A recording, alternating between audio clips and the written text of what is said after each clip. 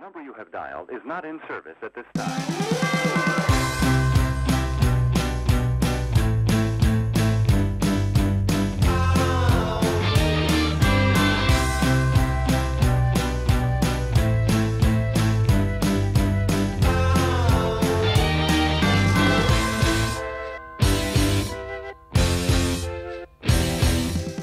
Welcome to Spotlight on the Arts. I'm Patrick Christiano, your host, the publisher of TheaterLife.com, a website for theater buffs covering Broadway and off Broadway theater in New York City. And we're coming to you from the LTV studio where I have a really special guest today, Emma Walton, uh, the daughter of the legendary Julie Andrews, and they've written a new book.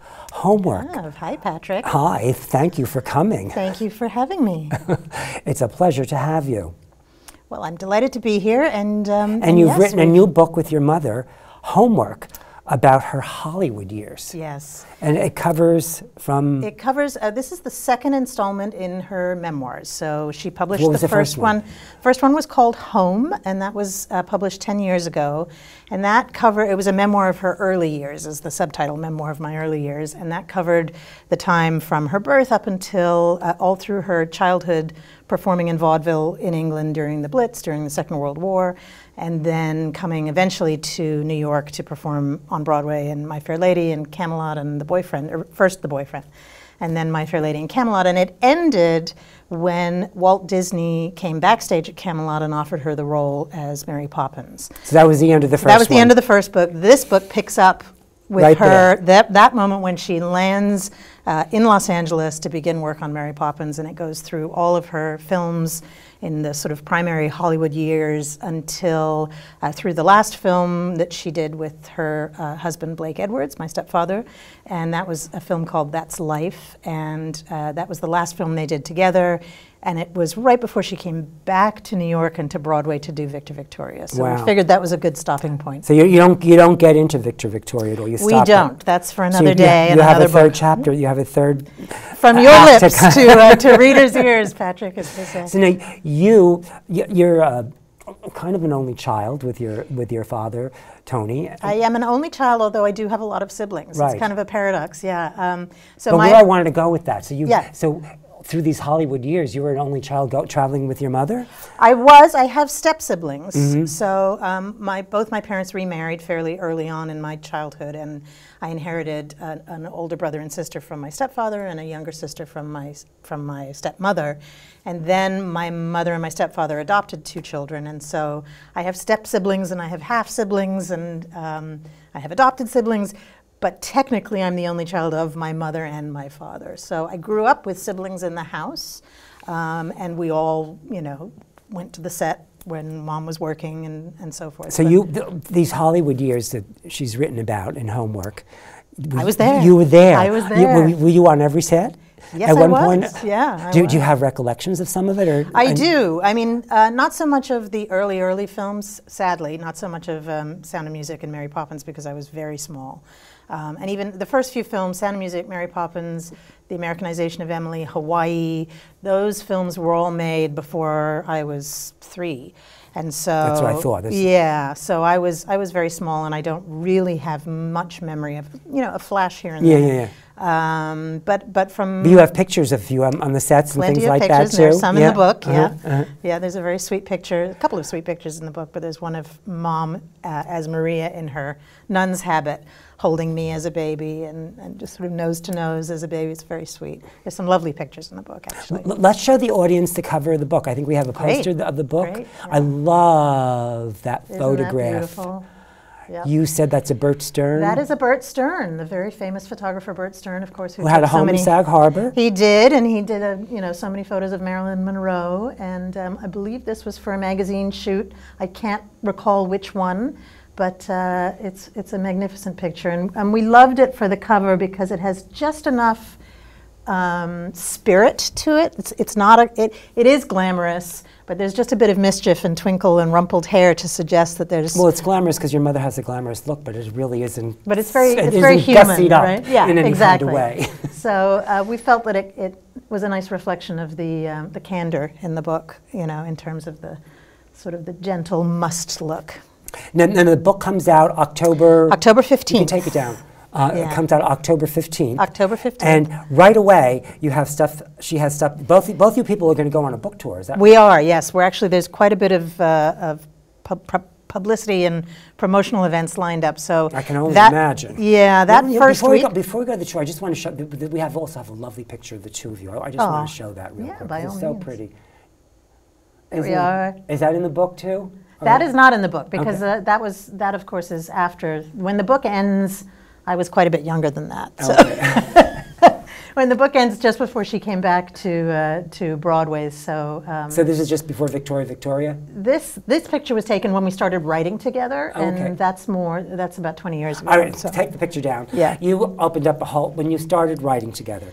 Yeah. Now we have to tell the audience you guys have written over 30 Over books? 30 books together now. 30 children's yeah, books. And mostly you for teach children. a course which we'll get around to later in writing. I do, children's I do, I teach writing. which I don't know how anybody teaches because I have no patience. well, I actually love teaching. I find that I've learned more from teaching than all the years I studied. you know, Every so teacher tells me that. yeah. And I used to teach. My my background was in theater. and My husband and I, uh, as you- as you know, started Bay Street Theater here in Sag Harbor almost 30 years ago. And um, so I used to teach acting, and I used to teach playwriting, um, particularly acting to adults, but playwriting to high school and middle school students. And um, you know, dramatic writing is dramatic writing, whether you're writing for the stage or the screen or a memoir or a children's book. You get, it's still three acts, you know, and it's still a beginning, a middle, and an end, and there's still a dramatic narrative. So it, that really prepared me very well, I think, for, So for this this particular work. book you edited too, your mother's book, right? You're the editor of it. Um, actually, uh, the first book I edited with her. Okay. Um, this book, I, we had a we had a wonderful editor. Actually, we had a wonderful editor on both the same editor on both books, Leslie Wells, who lives in East Hampton, as a matter of fact. Um, but this book, I was her co-author. I was her oh, co-collaborator. so you wrote. So yeah, you wrote so I wrote it with this book, her. I'm sorry, I misunderstood. Yeah, that. no, no, that's fine. And actually, I mean, my job in writing it, we did this on the first book as well, but in this book, I get credit for it, um, which is lovely. And it's it's a function of kind of organizing the writing process in such a way that she can tell her story as easily as possible. So what I did was I made, I started out by making a big timeline of her life and um, you know all the sort of major professional points each year and other things, moves to different houses or children arriving or you know new Where schools do or whatever. Draw, where do you draw? Where do you find all the the, the Well, she from? was- she, what does she do to keep? Yeah. She was and is an immaculate um, diary keeper. So, uh, in the first few years of Victor Victor, oh, not Victor Victor, um, the first few So years she, of. what, an immaculate diary keeper does it mean every morning and evening, or just once a Um, day? well, she, she first of all she has date books every single year with like everything, Everything, so recorded. she's very specific. But at a certain point in her life, right around the time that she and my father were separating, she started also keeping a journal. And in the beginning, it was journals. That's you healing. know, It's very very healing. healing. And in the beginning, it was usually around a project like a film or a vacation or an event. You know, it would be the diary of a Christmas vacation or the diary of a film project. And, um, and eventually, it became a daily practice. And so, part of my job after creating this timeline from all of her date books was to read all of her diaries and then to flag sections that. Would you she know, let anybody else read her diaries but you? I bet not. I don't think so. No, I don't think so. Um, Do you, was- do you get a lot of surprises when you read her diaries? well, you know what was surprising? I'll tell you what was. It was quite funny actually because we both thought well, this is going to be a piece of cake because we've got all these diaries, so we can just turn to the diary and, and it'll be there. But of course, you know, if you think about it, I don't know if you've ever kept a journal. I do keep a journal. You do yes. keep a journal, so you don't necessarily record things like what's going on in the world at the time, or you, you're recording like what you dreamt last night, or what you ate for dinner, Mostly what you or, feel. or, or what you feel exactly. And so I, you know, I thought I was going to get all of these sort of details about the day-to-day events on the set or the day-to-day events in the world that was affecting her life, and instead, what we found was a lot of meals and a lot of dreams, and not, not that there isn't, of course, that material as well, but you know, there were plenty of moments when I would say to her, you know, Mom, you didn't even mention the, the lunar landing happened this day, you know. So, you, so you had to go back to the timeline of history That's to right. see what was really happening. so it's happening. a balancing act, exactly. But we do we, we excerpt her diaries a lot in the book, and, um, and we you know we of course interviewed. I interviewed her many, many, many hours of us just talking to each other and me. When you interview her, do you put it on tape? Or you Yes, just- yeah. We and put it then on you tape go back and then we listen to it afterwards too? Well, we have it transcribed actually. So Oh. she has a wonderful assistant who did this for the first book as well. how and cool. Yeah, so she would listen to the interviews and transcribe everything. Um, you know, and then you both reread them, right? and then we both, then I take the transcript and kind of convert it into a rough form of narrative, and then we both reread it and edit it together. And, uh, and then, of course, we interviewed other people as well. We interviewed the rest of the family in terms of their memories. We interviewed my father. We interviewed her siblings. We, you know, lots and lots of other friends and family members to make sure we had our facts right. And because memory is an interesting thing. It doesn't always. No, I was because I was going to ask you one one of the things I was going to ask you, and I kind of shied away from it. Like when you when you were reading her diaries, like well, she's probably never you never read them before. This is probably the No, first time. yeah, but also, does she remember all the stuff? That's what I was going to. No, that was the fascinating thing. So we would because there's so much you can't. There's so much, and we she would say to me something like, "Oh, well, when we get to such and such, you'll see it's it's very funny, you know." And I would have read ahead, and I would say, "Actually, mom, that's not how it happened." It, you know, it wasn't in the dressing room; it was outside or whatever. And she'd be like, "No, it wasn't." and then we'd get to the diary entry, and uh, you know, it would be completely contradictory to the way To she she remembered, remembered it. it. Yeah, so it was fascinating. I think it's uh, that, that makes a comment about all of us that we want to remember things in, a, in the way that we remember them Exactly. sometimes instead of Exactly. how they ha- whatever serves us in that particular moment. Right. Um, Yeah. To And so that was challenging for her because there was, you know, there were obviously it's a lot of her life represented here, and there were some, um, in, you know, it was a time of tremendous success on the one level, but there were also some tremendous Underneath challenges underneath and there's a lot of struggles. yeah, struggles going on. and revisiting all of that in her diaries and reliving it all was was a challenge for her and for both of us to kind of walk through together. So it was a great honor to. It is continues to be a great honor. now there was something else happening the first week. I forgot what it was. The, the first. Oh yeah. So the first week, uh, the book comes out October fifteenth, and we'll be doing a lot of media in New York that week. Right. Um, and at the end of the week, on the weekend, we're doing um, we're doing a talk at the 92nd Oh, Street that's it, Y. yes. Who's gonna do the interview? Mm-hmm. That's um, Annette Insdorf, who is a great film historian and. Uh, Coincidentally, my son's teacher at Columbia University, because Oh, cool. yeah, he did uh, film studies there, and she Is was that what his he's favorite studying? teacher. Yeah, he's, he's graduated now, but that was his his. Uh, So study. he's a filmmaker. He is, yeah. And uh, so we're doing that on Friday the 19th at the 92nd Street Y. And that same weekend, um, Mom is uh, presenting a series of films that she curated of her husband, of Blake Oh. Edwards films, at the Metrograph in New York City. Where is So, the um, Metrograph? The Metrograph is downtown in New York. It's um, it's kind of a it's a new classic cinema in in that they have they they show.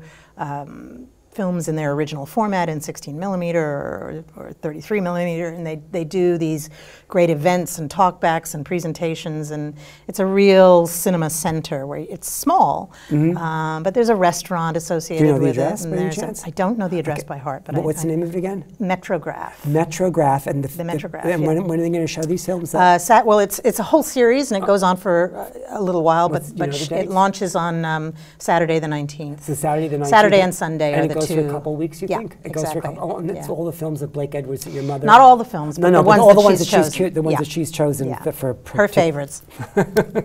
And of course, we, in case films. our audience doesn't know, they were married. They were married. and they did a lot of projects together. yeah, and this and and incidentally, this um, this event was uh, coordinated and organized by um, Giulia D'Agnolo Vallan, who is a, another wonderful film historian, who will be and already is actually the artistic director of the new Sag Harbor Cinema. Oh, so, how yeah, cool. yeah. So she, and she was uh, my mom just was honored at the Venice Film Festival, and Giulia was the one who presented that award and, and organized that for For a lifetime so- achievement? For lifetime achievement. And when we yeah. were talking just a minute, your mother is also a dame. Uh, she was honored She by. England, as by the Queen of England. she was but indeed. She doesn't. We were talking. She doesn't really like to be called a dame. She's a little shy about it. It's funny. She just prefers to be called Julie or Jules, as those of us who, you know. No, but I, I call her mom, I, but that I said earlier that your mother's essence is not showy. It's Yeah, it's no. quiet. It's I, I true. Shouldn't want to flaunt it. not at all. No, she's she's very shy about it. I mean, she's enormously honored and thrilled Oh, to have received that honor, but she doesn't she doesn't feel comfortable being referred to as Dame Julie. But she went and got it right. oh yeah, I was there. You were? I was there with her. Yeah, that was quite a day. Wh- Who, who, who else got it that year? Uh, Elizabeth Taylor. Oh. Yeah, she was the the one the other major figure there that that year. But there are hundreds and hundreds of people I who know, I get know, honored the same day. It was quite an astonishing ceremony. So, how did you two get together writing children's books? How Ah. did that happen? Well, What so was the motivation? My mother started writing children's books when I was a child in the 70s.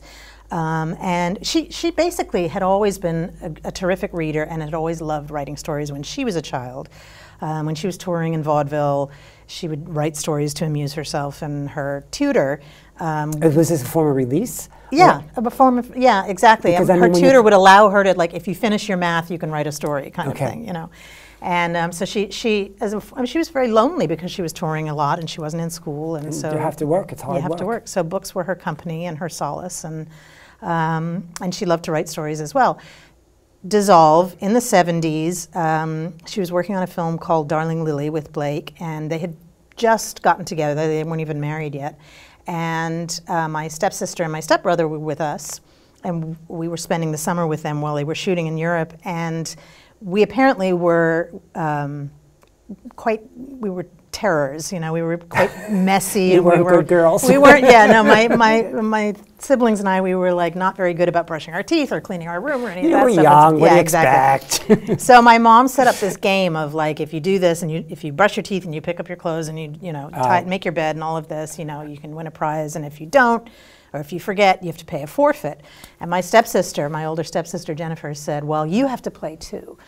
And my mom said, sure, okay, what do I have to do? And she said, you have to stop swearing. You- she swears a lot? My mother swears a lot. So, um, so of course, she was the first to lose. And Because she couldn't stop swearing? she couldn't stop swearing. And she said, All right, all right, what's my forfeit? And Jennifer said, Write me a story. And so that story that she wrote for my sister became her first published children's book. And that was a book called Mandy, which was published in the 70s. And then she wrote another book after that called The Last of the Really Great Whangdoodles. And those two books, I'm happy to say, are still in print. And um, she published them under the name of Edwards, her married name, um, rather than Andrews, because she didn't want to.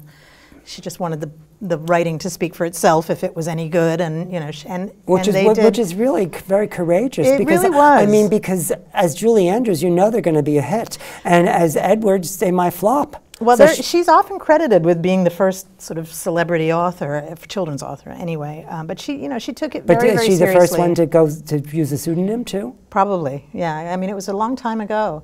Anyway, um, Because I think later, most people like to flaunt theirs. I mean, you, most people are the opposite of what your mother she's- she's- presents. She's and the pretty. essence, She's a good egg that way. you're really lucky to have such a. I am. I am. But years later, she was asked. Uh, she they were talking about. Oh, that, years later, she wrote two chapter books about a little cat, um, a ship's cat, actually, and. And with that same publisher, Hyperion, she was uh, working on her first memoir. And they said, Have you ever written anything for younger children? Would you consider writing a picture book for very young children? And at the time, my son was just a year old. Oh, how And perfect. um, it was perfect. And she said to me, Gosh, I, I wouldn't know where to begin to, to write for very, very young children. Like, what would, what would you want for Sam if you could find any book, you know, that, that would be the perfect thing for him? And he was, um, and still is, a complete truck freak. Like, he just only wanted to read books About and- trucks. about trucks and play with toys that were trucks and wear pajamas that had trucks on them and sleep on sheets that had, like, it was trucks, trucks, trucks all the time. Uh, now it's classic cars and He's evolved he has, up. yeah, he has. He has. He drives a Mustang. It's very cool. That was my It's first car. Really? yeah, it's a '66 Mustang. He restored himself. It's great. But anyway, um, I said, I, you know, that I would love to have like a series about trucks that had some value to it. So it was character driven, had some thematic value, and so forth. But um, they're kind of few and far between. Between most of them are nonfiction and so forth. She said, well, let's write it together. So that's that was the first book you that wrote That was the to- and what first book we wrote together. It was called Dumpy the Dump Truck. And it was the first in a series of books about that character, Dumpy, and other trucks on the farm. And it was sort of, it's set in a town that's modeled after Sag Harbor. And my father did the illustrations. And, Tony? Um, yeah. Oh, how cool! Yeah, we love your father. He's so. Thank How you. is how is he, by the way? He's good, Oh, thank good, you. good. He's Barry was just asking about him Yeah, the yeah, day. he's he's very well. He's fierce. he's my my father. For for viewers who don't know, is a, is a Broadway production designer and uh, did the sets and costumes for my for Mary Poppins and for many shows on Broadway, but he's also an illustrator, and so he did the illustrations for those books. And then from there, we just also kept going. a very generous spirit too. he is. He's he's very much. You have two really cool parents. Thank you. I, I think so too. Yeah. But I'm a little biased.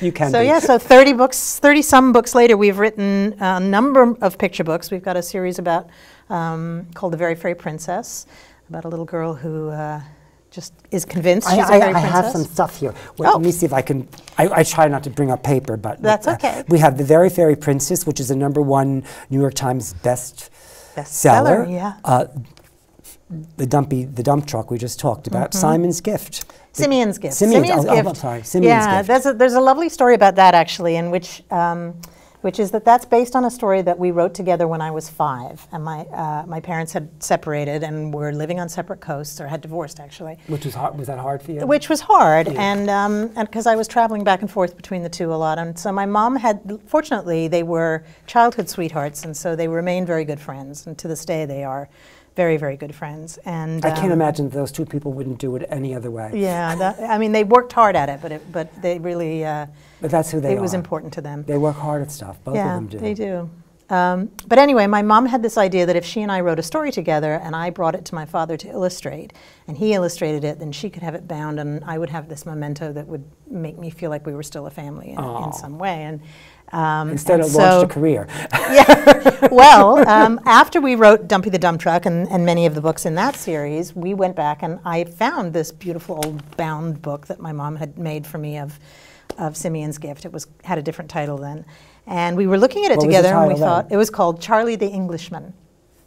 And, uh, and so we thought, well, maybe we can You could subtitle it Mm. that almost. yeah, really. maybe we can rewrite it, and maybe you know we could see if it has life. It could be published, and so we did. We re- rewrote it. Charlie became Simeon, and um, but that one part of the book that we wrote when I was five is is still about a third of the book now that's published.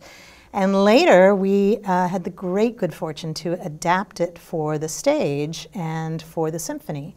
Um, it's a book about music, and uh, the story follows this young musician as he's a minstrel, actually, as he's going in search of his muse. And we performed it at Bay Street. And then, when did you do that? um, I didn't know. I didn't miss this and didn't know about it. yeah, this was um, like 2002, three, early er, in the early 2000s, and uh, and then it went. Did you do got- a, a full run? um, it was a workshop run, Mm-hmm. so it was it was two pianos, and um, but it was a full cast, and we did a couple of we did several performances, and then it went out on to a symphonic tour, and we had the extraordinary gift of hearing it played um, by a full orchestra of 88 pieces, and um, Mom toured with it to a couple of different venues and did the narration for it, and uh, so that was quite an experience um, to see it, you know, adapted for the stage and for symphony. And then we wrote a couple of middle grade novels together, and um, and now these memoirs. Wow. Now, we have what you, you, you, you've, you've done so much stuff. I mean, it's just, it's incredible. and we didn't even get to your, uh, yet to your teaching. But I, I, first I want to show the audience just the schedule of the tour. You're Sure, gonna, you- The book is going to go on a tour. Can we, this is a tour. Now where, what's the website if they want to check this out further? Okay, great. So Julie Andrews our JulieAndrewsCollection.com Yeah. is the website. You can go there and find these tour dates if you want to meet Julie talking about her book. Yeah, And, and you're going to go a on calendar the tour. there You're, as you're going on the tour for a lot too. I am. I'm going on most of these events with her. I won't be in Los Angeles or Chicago, but I'll be everywhere else uh, with her, and uh, and I'm looking forward to it. Yeah, Um, these are these are actually. Um, just the venues where she's presenting and doing speaking Mm-hmm. engagements. And then, of course, there will be a good deal of publicity and press and television and radio and, and so forth. So- Now, now we only have a few minutes left, but Yep. you know, tell us a little bit about this. Is you just right?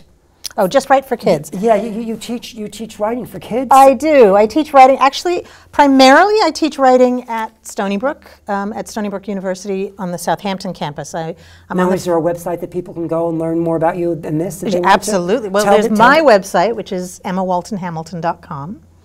And, uh, and then, of course, uh, there, all the courses at Stony Brook are on Stony Brook's website, which is stonybrook.edu. Um, but if you want specifically to know about the children's lit programs, stonybrook.edu forward slash children's lit. And uh, so there I teach for the MFA and I teach children's writing for the master's program there. When did you start doing that? Um, in 2008. Oh, wow. Yeah, so I've been there a while. And um, How, how many classes do you teach? Dep- it depends on the year. Okay. So um, Like this year? so well, I, I, I do various different things. So this year I'll be teaching uh, my the main course I'll be teaching will be in the spring. Um, but I also run the Children's Lit Fellows program, Oh, which is a certificate program where I have 12 students a year, and then some alums doing postgraduate work that I um, that I supervise uh, as they are mentored by other faculty members in finishing their books, their picture Oh. books, and their novels, and so forth. And then I also run the Children's Lit Conference there in the summertime um, where we have workshops in, in writing for children, picture book, middle grade, and young adult. So that's at Stony Brook's Southampton campus. But I also teach online, and those are my courses, Just Right for Kids, Just Right Children's Books. Um, so those are independent study courses that you can just sign up for and work your way through independently. Um, and then I'm part of uh, another online, uh, several other different online education programs, but um, there's a conference called Picture Book Summit coming up Wow. on October 5th that I'm one of the co-founders of. So It's all quite extraordinary. you, you and your mother have created quite a legacy. yes, uh, well, you do what you have to do, Patrick. I think you do what you You do what you have to do, you and you do what you want to do. Of course, you do what you do what is in your heart and what you're interested in. And I love writing, and I love, I love writing, and I love the arts, and so it all kind of dovetails together very nicely. Uh, Thank you so much for coming. We're about out of time. We have about 30 seconds. Thank you for having I, me. I look forward to reading your mother's book. I can't, I, I she's, we're a big fan of hers. Oh, and thank I, you so I loved her in Victoria, Victoria, Victor Victoria Yeah, on was- Broadway. Oh, whoa. I mean, That's the next was, book, The movie was good too. But The movie's good too, But she yeah. Oh. was wonderful. Did she win the Tony Award for that? She did. She was nominated, but She didn't but win. She deserved it, She right? uh, she actually um, refused the nomination that year Oh. because she was the only member of the company that was nominated, and Oh, she I felt it was unfair. Yeah, yeah. Cool. So she um, she coined she the phrase. She probably would have won otherwise. I like to think so. I, I like to think, think she'd so, be an too. EGOT. She'd be an Emmy, Grammy, Oscar, Tony winner. It wasn't important to her. It wasn't meant to be. Thank you for coming. Thanks, Patrick, for having me.